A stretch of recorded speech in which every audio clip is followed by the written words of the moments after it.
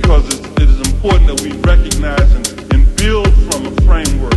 Uh, Sister mentioned that we need to listen to what we're saying and then think about it and, and try to apply it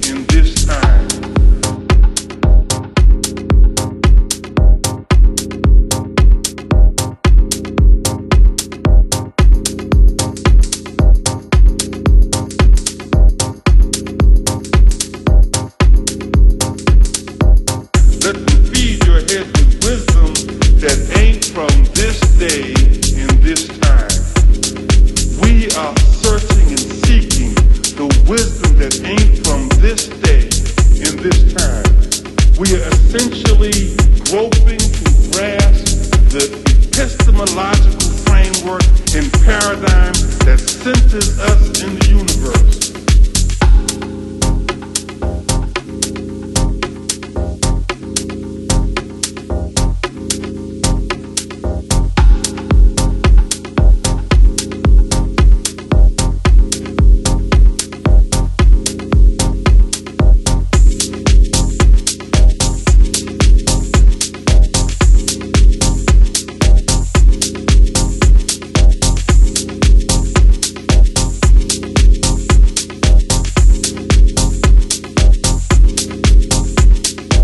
Let those old souls come into your heart.